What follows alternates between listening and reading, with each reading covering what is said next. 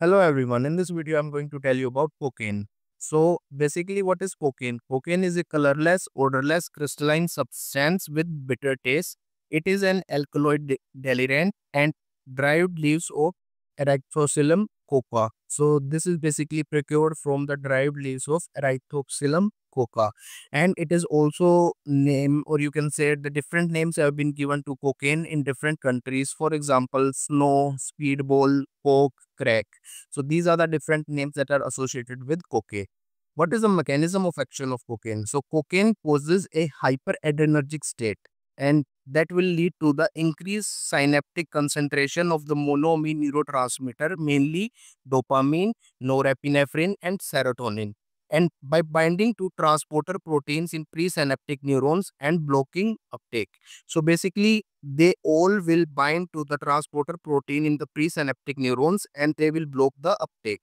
Also, this will stimulate the cortex for a short time, followed by depression and the main route of administration of cocaine this is mainly most commonly used is chewing snorting smoking iv that is least used so most commonly used are chew chewing and snorting. So what are the sign and symptoms in case of uh, cocaine poisoning? Someone have abused cocaine in a higher amount. So what are the symptoms that will appear within the body? So the symptoms appear within 7 second after inhalation. So this these are basically route of uh, administration. So if the patient uh, or the person will inhale then 7 second after 7 second he will start experiencing the symptoms from iv route after 15 seconds, from nasal insufflation after 3 minutes from oral ingestion after 10 minutes. So these are basically the symptoms uh, time frame that usually appears with the route of administration.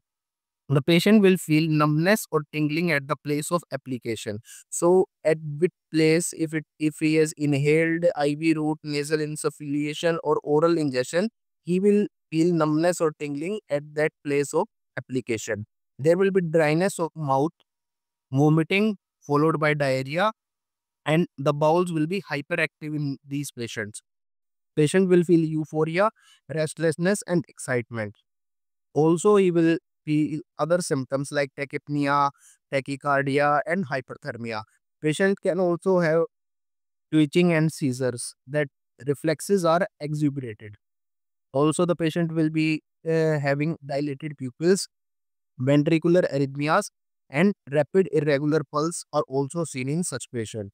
And it will be followed by apnea and flaccid paralysis. In fatal cases, convulsion and death occurring within 2 to 3 minutes. So as you can see, it is a very very toxic or very very highly toxic abuse substance that the death is occurring within 2 to 3 minutes so even after consuming in a large amount the patient will not be able to reach the hospital. So the overdose will lead to the death in just 2 to 3 minutes.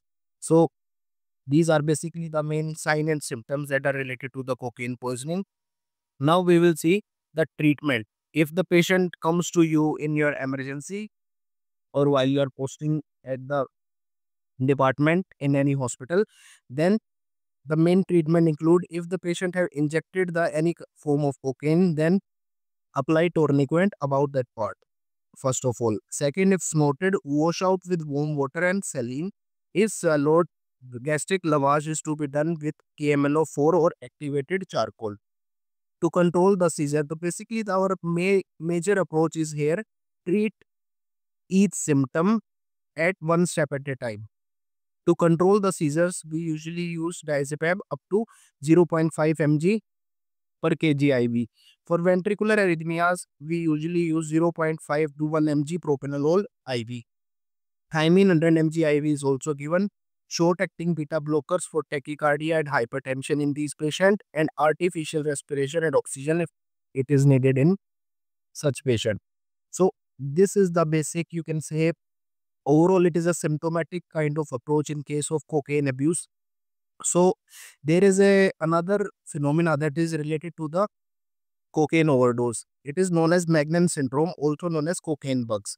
So this kind of syndrome is usually seen in cocaine addicts, those person who are addicted to cocaine and they consume it on a regular basis. So it, they usually feel this tactile hallucination sensations like tiny insects are crawling under the skin.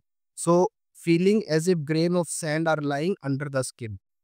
So this is basically all about Magnan syndrome that is related to the cocaine addicts who are abusing it for a longer period of time.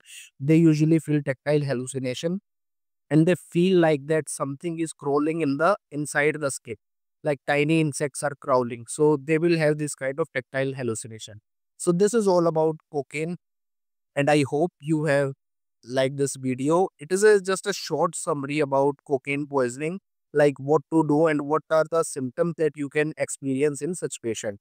So i hope you have liked this video. Thank you so much. Make sure to subscribe and like this video